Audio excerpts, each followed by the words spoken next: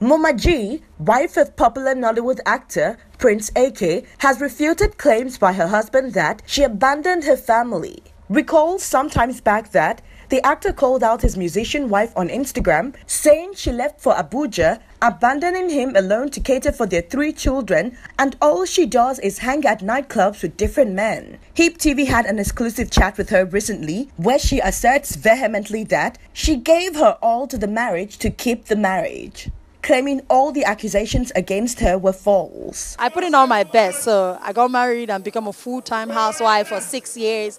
And um, even though I'm hearing rumors here and there, that, that, that, that the rumor, rumor that was actually or is describing me otherwise. Uh, but God knows, for me to have taken a break for six years is enough to show anyone that I was really dedicated and I gave the marriage all my life, all my time and all.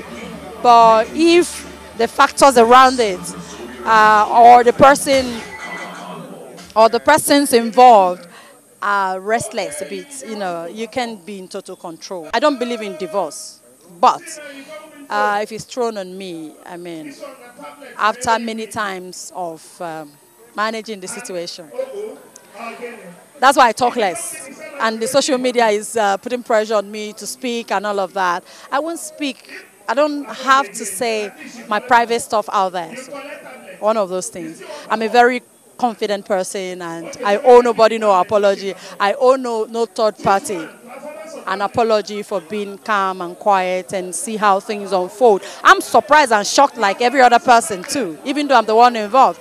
But then again, um, I love my fans, I love my friends, I love my family.